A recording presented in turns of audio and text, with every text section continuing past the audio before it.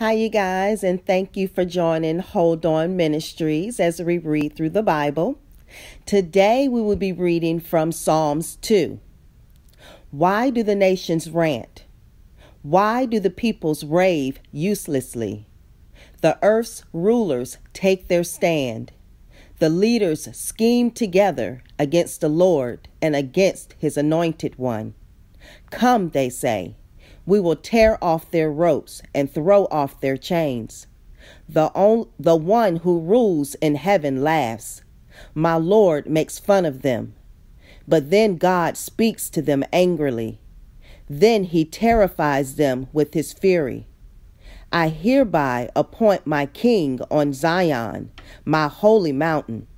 I will announce the Lord's decision. He said to me, You are my son.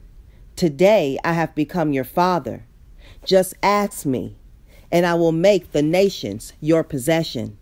The far corners of the earth will be your property.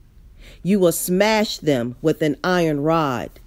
You will shatter them like a pottery jar. So, kings, wise up. Be warned, you rulers of the earth. Serve the Lord reverently, trembling, kissing his feet or else he will become angry, and your way will be destroyed, because his anger ignites in an instant. But all who take refuge in the Lord will be truly happy.